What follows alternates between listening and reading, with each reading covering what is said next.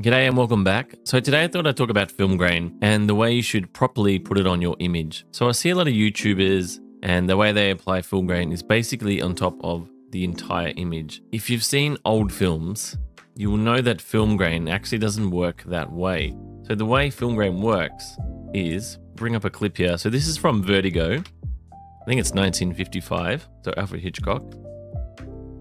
Now, if we look at this image here, as you can see, our blacks aren't showing the film grain, but our brighter areas are.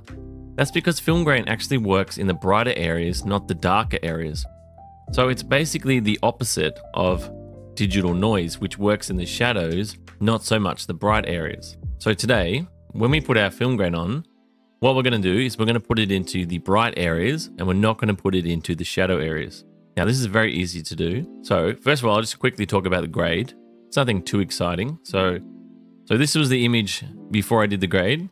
As you can tell, it's quite boring and dull.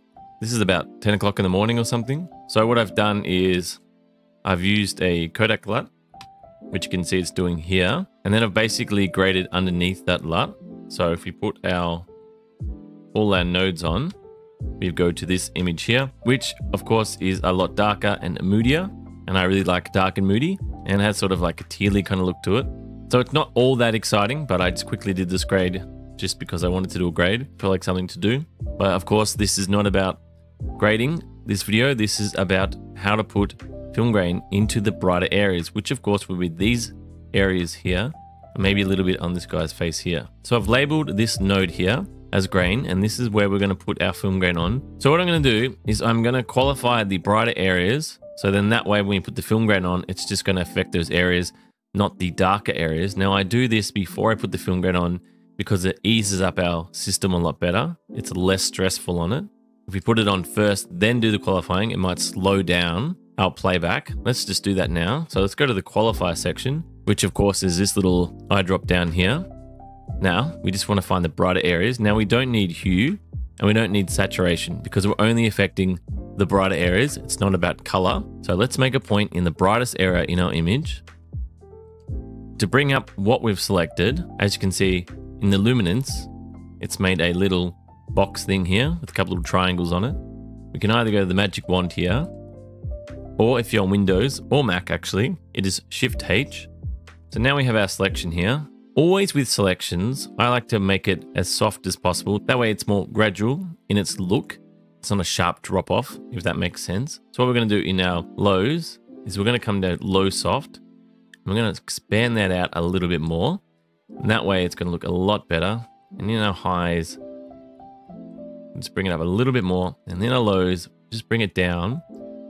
So anything that is white or gray, I guess, is areas that aren't affected by the grain, as in the grain won't be put on to that area. So anything that is selected. So as you can see, these brighter areas here the grain will be applied to.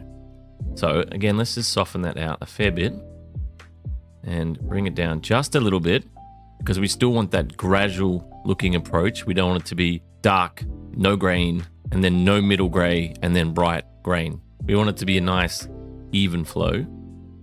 So again, let's just smooth that up. That looks pretty good.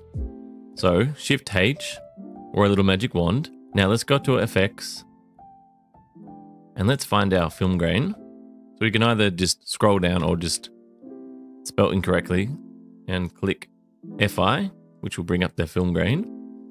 Now let's put it on. Now I'm going to make it a lot bigger than I normally would for two reasons. One, it's YouTube and it's going to compress it. So we're going to lose a lot. And the second thing is I really want to show you what it looks like. Under presets, I'm going to go down to 16mm 500T and then for opacity, I'm going to put it right up. And I put up grain size up just a little bit.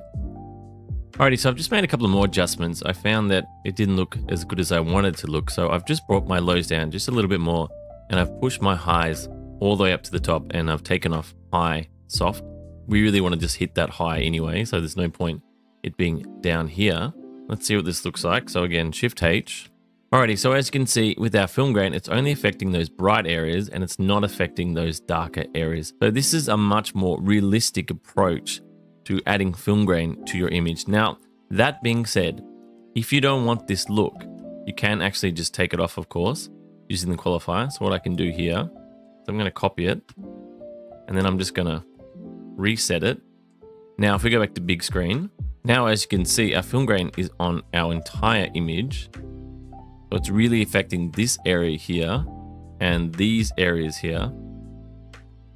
So this is something that not necessarily would happen when you're shooting film or obviously filming film.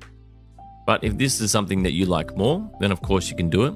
Everything is subjective when it comes to art. So this is something you think looks better, then by all means go for it.